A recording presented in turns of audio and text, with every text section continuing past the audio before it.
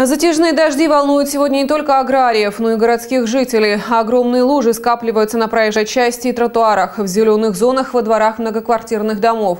И эта застарелая проблема требует кардинального решения. Помните детский стишок Сергея Михалкова? «Где же солнце? Что случилось? Целый день течет вода, на дворе такая сырость, что не выйдешь никуда. Если взять все эти лужи и соединить в одну, а потом у этой лужи сесть, измерить глубину, то окажется, что лужа моря черного не хуже. К сожалению, сегодня многие белореченцы повторяют другие слова, пытаясь найти островки на некоторых участках городских территорий. Всего две центральные улицы города оборудованы сетью коммуникаций, куда сливается вода после дождя, а на остальных она сама прокладывает себе путь, не обращая внимания на возмущение горожан. Городские власти каждый год пытаются решить застарелую проблему. Строят дренажные колодцы, углубляют сточные канавы, прокладывают лотки для слива. Но с каждым дождем появляются новые необъятные лужи. Дождливые последние дни э, очень очевидно нам показали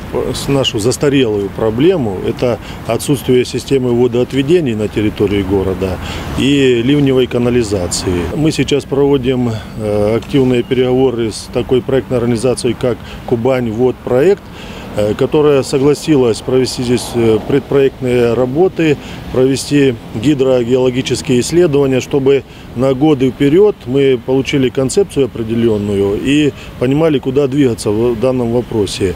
Ну, а что касается вот этих многочисленных луж, которые у нас затапливают дороги, затапливают тротуары, тут нужно сказать, что не обошлось и без нашего влияния.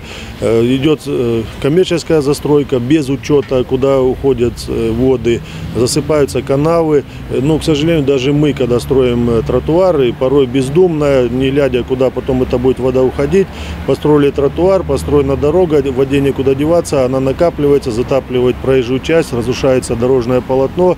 То есть вот эти все вопросы сейчас нами продефектованы. Мы сделали целую карту вот этих луж проблемных, и теперь будем поэтапно устранять. Конечно, не одним днем, к сожалению, эти проблемы копились годами. Но хочется заверить горожан, что этой работой мы занимаемся и поэтапно будем устранять вот эти проблемные территории. В Самаре глубокие лужи на улицах осушает специальная техника. В Белореченске есть подобная, которая промывает ливневки и забившиеся пропускные трубы. Это в какой-то мере помогает избежать массовых наводнений. Будем надеяться, что когда-нибудь лужи на нашем пути пути будут не такими большими. И детский стишок мы будем повторять своим детям с улыбкой. Наталья Пугачева, Сергей Чернецов. События и люди.